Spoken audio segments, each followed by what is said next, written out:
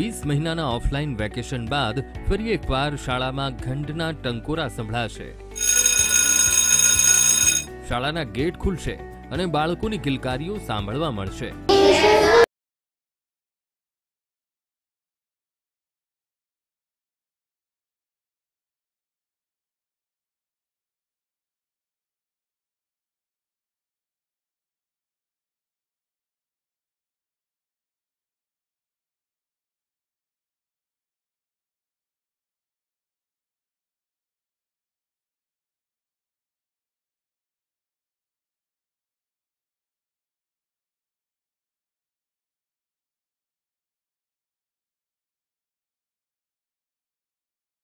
લાંબા વેકેશન બાદ સોમવારથી રાજ્યભરમાં ધોરણ એકથી પાંચની શાળાઓ ઓફલાઈન ધમધમવા લાગશે.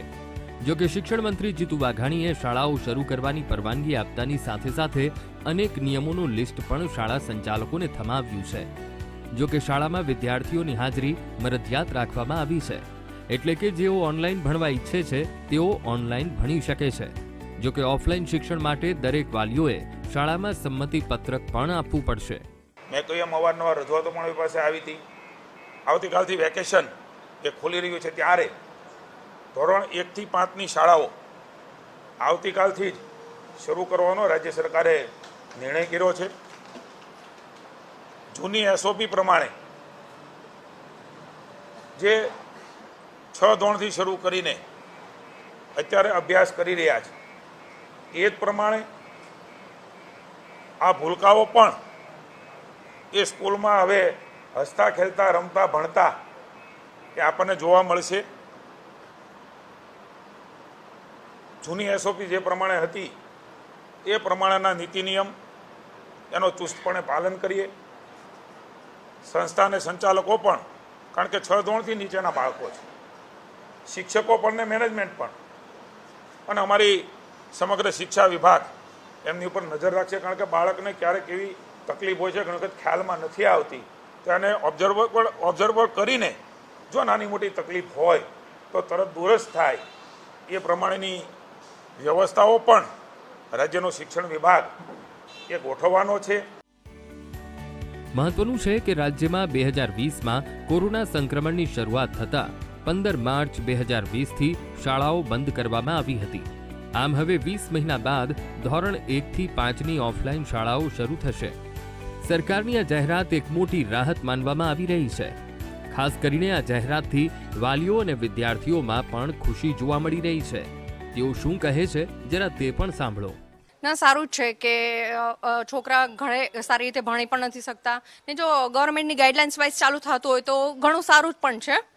કે સ્કૂલમાં જઈને ભણે તો વધારે બેનિફિટ છે લોકોને? ના એકદમ સારો ડિસિઝન છે અને સ્ટાર્ટ થવી જ જોઈએ. મારી પોતાની ડોટર ફર્સ્ટ સ્ટાન્ડર્ડમાં છે અને એનું બેઝિક એટલું બધું કાચું રહી જશે નેતર કે એ ક્યારેય કોપઅપ નહીં કરી શકે. અને ખાસ કરીને જ્યારે જે લેડી વર્કિંગ વુમન હોય એ લોકો માટે આ બધું એડજસ્ટ કરવું બહુ અઘરું છે.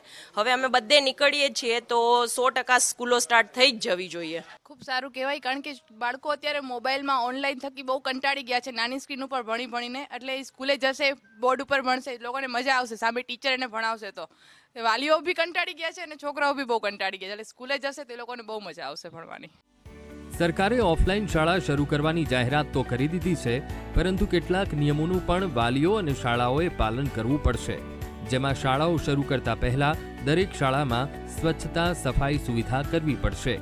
વિદ્યાર્થીઓનું થર્મલ ગનથી ચેકિંગ, સેનેટાઈઝર અને હાથ ધોવા માટે સાબુની વ્યવસ્થાઓ સુનિશ્ચિત કરવાની રહેશે. વર્ગખંડોમાં અને શાળા સંકુલમાં સોશિયલ ડિસ્ટન્સ જળવાવું જોઈએ.